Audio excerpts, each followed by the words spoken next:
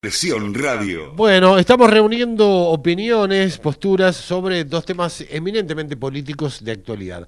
Ha resurgido la posibilidad de que en Chubut eh, se trate a nivel legislativo y como tal su posible aprobación de la ley de lemas, eh, tema que está dando vueltas por ahí. Lo tenemos en línea el senador nacional Carlos Linares, el hombre ha sido intendente de, Comodoro Rivadavia, ha sido candidato a gobernador, eh, tiene por supuesto un, lugar de, preeminencia en la mesa del PJ provincial. Así que bueno, estamos recabando opiniones. ¿Cómo le va Carlos? ¿Cómo anda? Buen día. Para todos y todas. Bueno, cuéntenos un poco su opinión sobre la ley de lemas. En principio de las pasos hemos hablado. La ley de lemas había estado un poco en el candelero hace un par de meses atrás y ahora volvió a tomar impulso. Esto, La ley de lemas eh, también es, forma parte de, una forma electoral, o sea que no, no, es nada raro. Eh, yo vuelvo a reiterar, a mí lo que me parece que para ordenar esto habría que hacer una convocatoria desde el gobierno de la provincia a todos los partidos políticos, a todos, y debatir eh, el calendario eh, electoral, la fecha, la forma. Me parece que esto es lo lindo de la democracia. No estoy para nada de acuerdo cuando dicen que la ley de lema o si sacan en las pasos es, una trampa electoral. La gente vota, vota lo que quiere. Eh, es, un poco eh, tratar a, la gente de, ignorante que no sabe votar. Me parece que la gente si tiene claro que va a votar, lo va a votar, eh, sea el modelo de elección que sea. Así que me parece que la ley de lema históricamente, también partidariamente, es un tema muy bueno porque permite tener una interna dentro de un mismo partido eh, en la cual cada uno puede acompañar al candidato que más quiere y a aquel candidato dentro de esa fila política que más votos eh, recaude eh, sería eh, el gobernador si es así, con esos votos les alcanzan. Eh, así que me parece que, que total transparencia, no hay nada raro atrás, así que no, no la vería tampoco con ningún desagrado. ¿no? Hay, hay una paradoja bastante particular con el tema de la ley de lemas en Chubut. es una ley que impulsa el, PJ, allá por los noventas, y beneficia a los radicales y no al PJ. Y en esta oportunidad los radicales están en contra de la ley de lemas, que les hizo bien con Maestro, y el, el PJ, eh, digamos, está a favor, porque no le fue tan bien en aquella, en aquella oportunidad. Eh, ¿Ha cambiado el paradigma, el escenario electoral eh, en, esa, en esa particular circunstancia? Es que vos, no es que vos tenés que hacer... perdón un minuto, por favor. Sí, cómo no. Ahí voy. No es que tenés que hacer una un tema si a vos te va bien o mal. Como vos dijiste bien, en esa época se hizo la ley del lema y el ganador fue Maestro. El, radicalismo. Y está bien. ¿Y cuál fue el problema? Después gobernó muchos años Maestro. no, no, no tiene, yo vuelvo a insistir, me, me parece que no es, primero que no es un tema eh, que tendría que preocupar a nadie, esto tendría que, vuelvo a insistir, eh, también se perdió en el tiempo, me parece la convocatoria de todos los partidos políticos. Me parece que eh, reunir en una mesa a todos los partidos políticos, a sus representantes de la provincia, donde puedan debatir, donde se pueda hablar eh, de, este tema, y, después la legislatura, que, es un lugar donde eh, todos los partidos también están representados, o la mayoría, y, y se, se, se sacaría la mejor conclusión y sería un tema eh, terminado. Lo que pasa que muchos, en el caso nuestro, en la provincia de Chubut, eh, tienen un espejo siempre mirando lo que dicen eh, en Capital Federal y ellos repiten lo que dicen en Capital Federal. Entonces, eh, bueno, insistir, cuando vos no tenés una opinión formada y venís a formar opiniones a otro lugar, claramente no, no toman las mejores decisiones. ¿no? ¿La ley de lemas a nivel provincial viene impulsada por el, por el peronismo? O de otro partido? No, yo conozco algunos con algunos que, que no están en el Partido Justicialista eh, que también quieren, algunos radicales que no la ven mal, eh, algunos de otros partidos políticos que tampoco la ven mal.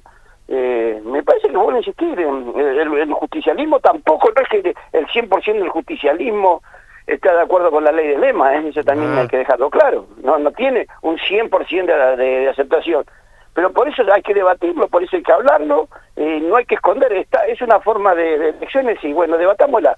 Bien. En la paso, sacarlo no, es una forma, sí, debatámosla. pero hablemoslo, porque si no, lo, lo, que estamos haciendo últimamente hablando por los diarios. ¿Tiene que ser el gobernador el que convoque o podría ser cualquier fuerza política? Totalmente. El gobernador tiene que tomar la posición, yo voy a insistir, estamos con un gobierno en el último año de su mandato, tendría que tener más, para mí, eh, es una opinión, te diría, hasta muy personal, eh, tendría que tener un, un, acto de, esto de convocar, me parece que él tiene que, tratar de, dejar la provincia eh, de la mejor manera y, la mejor manera es convocando a todos los sectores, a todo el mundo, mirando lo que viene para adelante, bueno, insistir, porque termina un año, después este año va a ser un año electoral, y, y, que claramente tenemos muchísimos problemas que solucionar en la provincia y me parece que muchos de ellos se pudieran solucionar bajo bajo el diálogo, ¿no?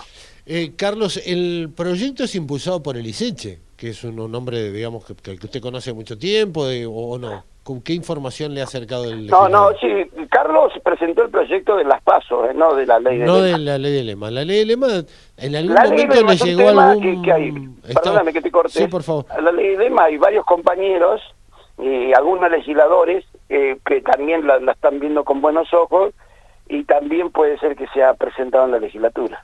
Correcto. ¿La ley de lema tiene una, una autoría? ¿Viene, ¿De dónde viene? ¿O es solamente un, alguien que, un rumor que se tiró para ver el impacto? ¿Qué, qué, qué...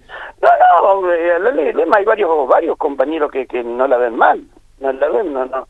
Eh, dentro de la fila del justicialismo, esto lo hemos hablado en su momento con, con también con Adriana Casanova, con todo, es un tema eh, que nosotros que estamos pidiendo, porque hay compañeros de militancia, compañeros en el interior de, de, de, de, de la provincia que también eh, quieren participar y me parece que, bueno, insistir, la ley de lema lo que le da la apertura que todo el mundo pueda participar, ¿no? Bien, Carlos, la última lo llevo al terreno puramente legislativo. Eh, ¿Avances en el tratamiento del presupuesto?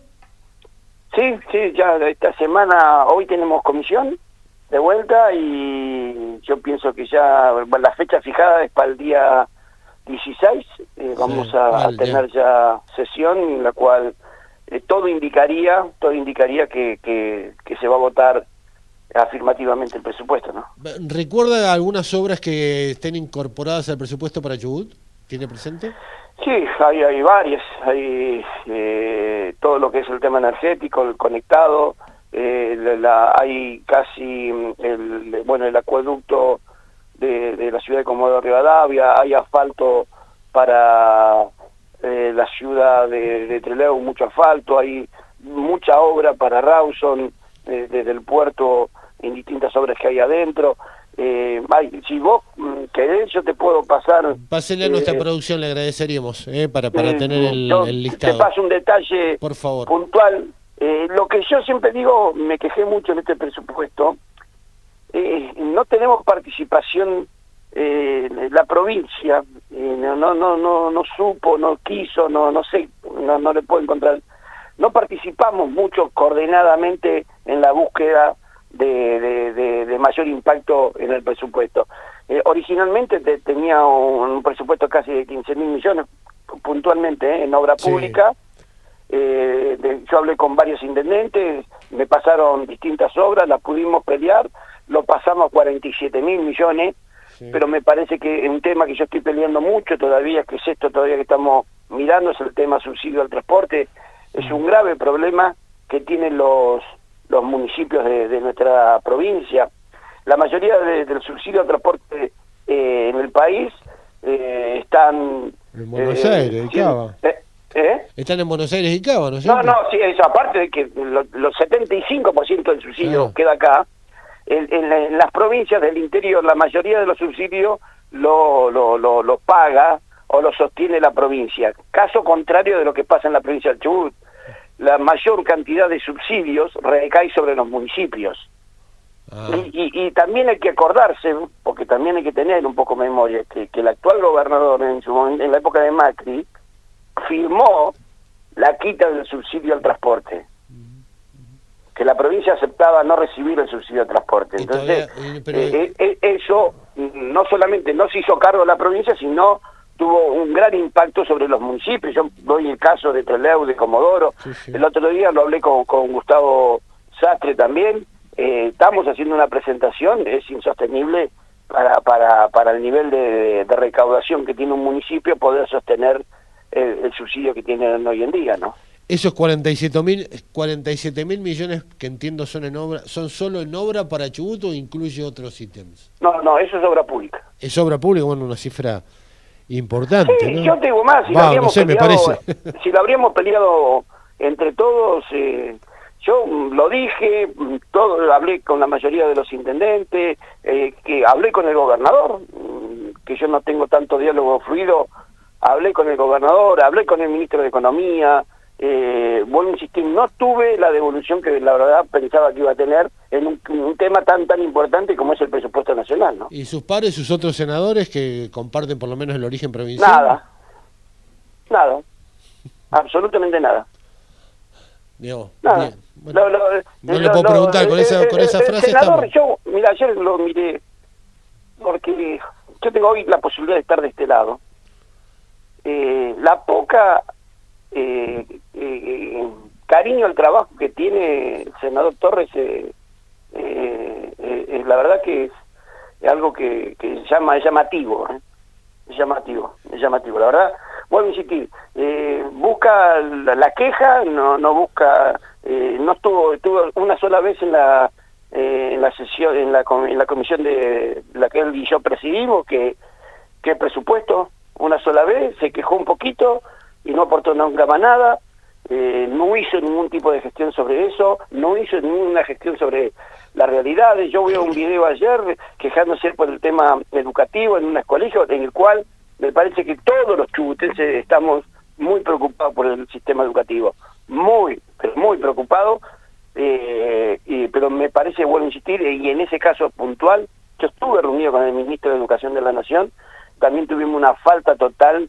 de, gestión eh, todo el año pasado y ojalá que no lo tengamos este año porque hay hay mucho plata hay mucho acompañamiento del gobierno nacional en ese tema si bien en el presupuesto hay una parte importante de plata para reparación y mejoramiento de, edificios educativos me parece que, que, si haríamos las gestiones que tenemos que hacer tendríamos mucho más éxito ¿no?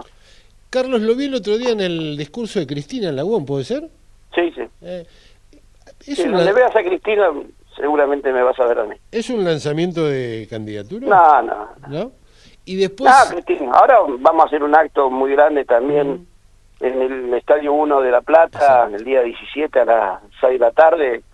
Eh, también eh, el día de la militancia vamos a acompañar a, a, nuestra referente, entonces yo no lo oculto, yo tengo una gran, gran, gran relación con el presidente de la Nación y agradezco infinitamente eh, el lugar que, que me da en su agenda cada vez que yo se lo solicito y el acompañamiento para mí en lo personal es un gran presidente con una gran mirada de país, eh, pero pertenezco claramente a un proyecto nacional y popular que lo conduce Cristina. ¿no? ¿Podría ser candidata Cristina en el 2023? Bueno, los observadores, los observadores dicen eso.